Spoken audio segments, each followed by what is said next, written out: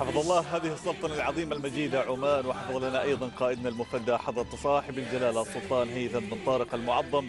حفظه الله ورعاه وأدامه ذخرا وسندا لهذا الوطن. مستمرين معكم مشاهدي الكرام في مختلف المحطات والفقرات والمساحات الحوارية مع ضيوفنا الأكارم. ومثل ما أسلفنا المحطة القادمة محطة جدا جميلة. سنتكلم عن الأزياء العمانية ضمن خارطة الأزياء العالمية. شابة عمانية أطلقت العنان لقدراتها في مجال تصميم الأزياء وبالتالي سعت أيضا أن تكون لها حضور وبصمة في مختلف المحافل الدولية لتضع الأزياء العمانية ضمن خارطة هذه الأزياء العالمية. مشاهدي الكرام التفاصيل وغيرها بوجود الأستاذة أمل بنت عبد الله الرئيسية مصممة أزياء وصاحبة علامة أمل الرئيسية. مرحبا بك سهلة وإحنا سعداء. بوجودك اليوم معنا في برنامج قهوة الصباح. صباح الخير.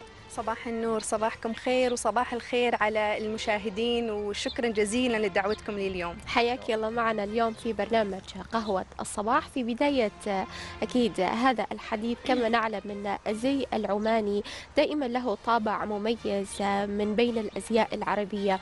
هنا نتحدث أكثر عن خصوصية الزي العماني التي تميز أيضا عن الأزياء العربية والأزياء العالمية الأخرى. طبعا الزي العماني يتميز باختلافه وتنوعه. يعني عندنا الزي الأزياء التقليدية العمانية تتميز عن غيرها من الأزياء في المنطقة باختلافها سواء كان في القصات في الأقمشة في التفاصيل الدقيقة. إحنا الأزياء التقليدية العمانية عندنا آه تختلف من منطقة لثانيه ففي عندنا تنوع كبير في الأزياء التقليدية وهذا اللي يميزنا عن غيرنا من الأزياء في المنطقة. جميل جدا. طيب أستاذ أمل يعني في ضوء ما تشهده الساحة أساسا من طفرة واسعة ما شاء الله من المصممين والمصممات في مختلف آه المجالات. كيف من الممكن آه للمصمم أو المصممة فعلا آه أن تتميز أو أن يتميز عن غيره أو غيرها من المصممين والمصممات بحيث يكون لها حضور متفرد بشكل عام؟ أعتقد ببساطة يجب على المصمم أن تكون له هوية واضحة. يعني ضروري أن المصمم ذوقه يكون واضح في تصاميمه توجهه يكون واضح. إذا كان للمصمم هوية واضحة فأكيد إنه راح يتميز عن غيره وراح يكون مختلف عن البقية. صحيح. أما إذا كان المصمم يحاول إنه يقلد بس للظهور فهي فترة بسيطة وراح يختفي أتفق تماما. والجميل أيضا أن السلطنة أيضا تتميز دائما بالأزياء العمانية والأزياء العمانية يعني سبحان الله الواحد لما يشوفها بالفعل يعرف أنه هذا زي عماني مختلفة في كل في كل شيء بالضبط. مختلفة في قصاتها يعني إحنا أزيائنا التقليدية في منطقة الخليج ألوانها زاهية دائما بالفعل. تكون وأقمشتها يعني كل مم. كل منطقة آه، زيها له قماش معين. بالضبط. فأزياء منطقة الجنوب تختلف عن أزياء المنطقة الشرقية وتختلف عن أزياء مسقط. فهذا التنوع يعني يميزنا عن غيرنا أكيد. جميل. يعني دائما أيضا تتجاوز الأزياء فكرة التصميم والموضة إلى أن تكون رسالة وثقافة. ممكن أن تصل حتى للعالم الخارجي. نتحدث طبعاً. أكثر عن هذا الجانب أستاذة. تصميم الأزياء هو فن. والفن عامة هي رسالة. وكل مصمم يتميز بأنه يوصل رسالته بالطريقة اللي هو يشوفها مناسبة. في 2015 وبعد ثمان سنين خبرة في مجال الأزياء وضعت لنفسي هدف نعم. إني أضع عمان على خارطة الأزياء العالمية. وكانت هذه رسالتي إني في كل موسم أحكي قصة عن عمان. ف آم، بالنسبة لمجموعات الأزياء اللي أصممها عندي مجموعتين في السنة آه، ربيع وصيف وخريف وشتاء.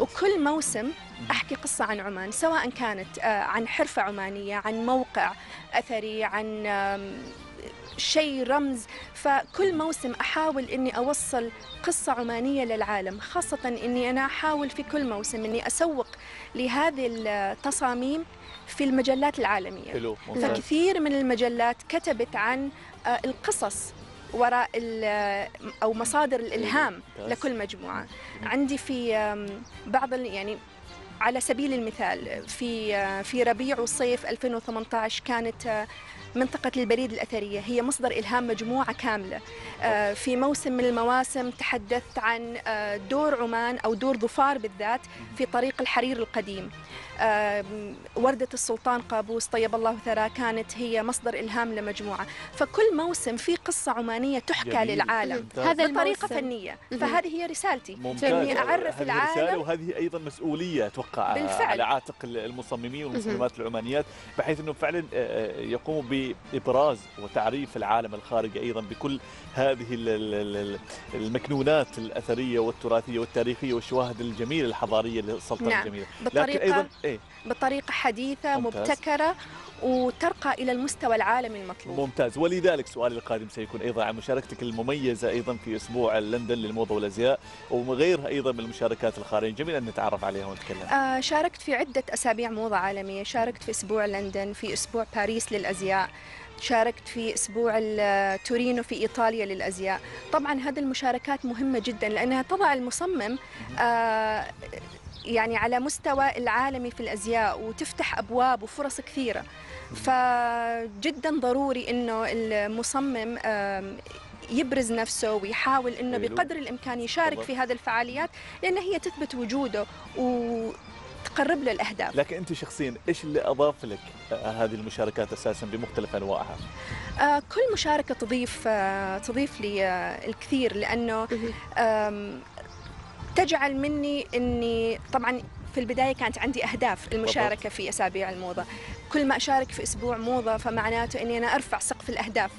لأنه في النهاية أنا أنا كمصممه أمثل بلدي حلو. أمثل أزيائي. آه، أتمنى في يوم من الأيام إنه في شوارع المدن العالمية نشوف الازياء مصممات العمانيات يلبسوهم الناس في الشارع مثل ما نشوف المصممين العالميين آه، يقبلوا عليهم كل النساء من كل العالم.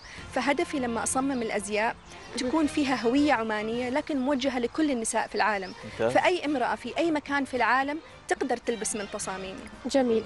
طيب نتحدث أيضا هنا عن تجربة مشاركتك في مؤتمر الفخامة العالمي. كوندي ناست أيوة. الكوندي ناست هو مؤتمر فخامة عالمي وهو أحد أهم المؤتمرات في العالم. سنويا يقام في آه مدينة مختلفة. طبعا الحين بسبب ظروف كوفيد فكل شيء تعطل. لكن آه في 2017 أقيم المؤتمر في سلطنة عمان. وما تم اختيار سلطنة عمان غير لأهمية عمان وموقعها الاستراتيجي. المميز. صحيح. وكانت مصادفة أنه آه، كان عنوان المؤتمر طريق الحرير لأنه طريق الحرير القديم كان يربط آه، كثير من دول العالم وكان آه، في نفس الموسم آه، مصدر إلهام مجموعتي كان طريق الحرير. حلو ودور. عمان وظفار بالذات في طريق الحرير القديم. ظفار كانت كانت ولا زالت تصدر اللبان واللبان هو من القدم أحد أهم منتجات الفخامة. نعم. يعني آه، كانت السفن تطلع من الصين وتمر على ظفار تاخذ اللبان توصلها للكنائس في روما. فكانت هذه يعني أهمية ظفار آه، في هذا الطريق مصدر إلهام مجموعة وكان هو عنوان الكونديناست جميل. وكنت ال- كنت متحدثة في المؤتمر آه، بجانب عدد كبير من المصممين العالميين وطبعا. هذه التجربة فتحت لي أبواب كثيرة جميل. آه، وفرص يعني قصرت المسافات. حلو حلو ممتاز. آه، وتستاهل طبعا كل الخير أستاذ أمل. ولكن جزيلا. أيضا من أهم آه، أدوات التسويق الرئيسية فعلا المشاركة في هذه المحافل الدولية والعالمية أيضا فيما يتعلق بمختلف المجالات. وهنا نتكلم عن مجال الموضة والأزياء. ولكن أيضا آه، بشكل عام ماذا أنت تكلمتي عن ما قبل كورونا؟ الآن إحنا في ظل الجائحة التي تعصف بالعالم أجمع. كيف استطعت فعلا آه، آه، أنك تسوقين أيضا لمختلف أعمالك؟ آه، هل لمواقع وشبكات التواصل الاجتماعي حضور وبقوة أيضا في هذا الجانب ولا لا؟ أكيد. آه، شبكات التواصل الاجتماعي الآن صار لا غنى عنها. هي وسيلة وسيلة مهمة جدا. لأي رائد أعمال مصمم حلو. تجارة إنهم آه، يثبتوا وجودهم. لكن ضروري نعرف إيش اللي ممكن نحطه في وسائل التواصل. يعني هي سلاح ذو كمحتوى حدين. ممتاز. كمحتوى. ضروري إن المحتوى يكون يرقى بالمستوى المطلوب. صحيح. أنا اليوم كمصممه يعني أمثل وطني فضروري إن مواقع التواصل هي مفتوحة للعالم. فضروري إنه أستخدمها بالطريقة الصحيحة. يكون لها اتجاه واضح وهدف واضح. يعني يخدم يخدمني كمصممة أزياء وما يكون مجرد محتوى غير هادف. جميل. طيب أستاذة يعني نحن ذكرنا قبل قليل أن مصمم الأزياء ممكن أن ينشر رسالة رسالة السلام وأن ينشر أيضا الثقافة العمانية والعالم يتعرف أكثر على الهوية العمانية. هنا نتحدث أكثر أن كيف أيضا للمصمم أن يوظف الأزياء في الأعمال الخيرية والإنسانية. ونحن لاحظنا هذا الشيء حتى في حسابك في مواقع التواصل الاجتماعي. طبعا المصمم في النهاية هو جزء من المجتمع. فهو يتأثر آه، يشارك في كل شيء في مجتمعه. ف الواحد ممكن يكون مبتكر في طريقة المساهمة. ممكن كمصمم أزياء يساهم مع بعض الجمعيات الخيرية. في تصميم قطع مميزة يكون ريع هذا القطع آه، لهذه الجمعيات الخيرية. ففي طرق مختلفة ممكن أن المصمم يشارك فيها في خدمة المجتمع مثله مثل غيره. ممتاز. طيب كختامية أساسا لهذا اللقاء. إيش الرسالة وأنت رائدة أعمال آه، يشار لك بالبنان حقيقة في هذا المجال. إيش الرسالة اللي حابة توجهينها للمشاهدين والمشاهدات ممن تستهويهم آه، هذه الموضة والتصميم بشكل عام في عالم الأزياء آه، واللي فتح فتحوا مشاريع ولكن للأسف الشديد جائحة كورونا سببت لهم الكثير من التحديات والصعوبات والعراقيل. ما إيش اللي حابة تقوليه في هذا الموضوع؟ لا تضعوا حدود لأهدافكم.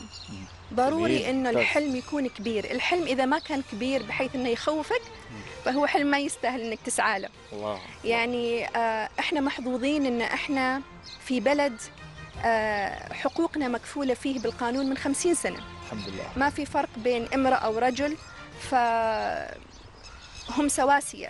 في نصيبهم من التعليم في نصيبهم من العمل الامتلاك.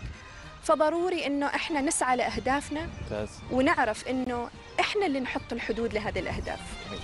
جميل. شكرا لك. نحن شاكرين وجودك اليوم معنا الأستاذة أمل بنت عبد الله الرئيسية مصممة أزياء وصاحبة علامة أمل الرئيسي. شكرا على وجودك اليوم معنا في برنامج قهوة الصباح وحديثك كان جدا ممتع. شكرا جزيلا. شكرا على الاستضافة. شكرا لك.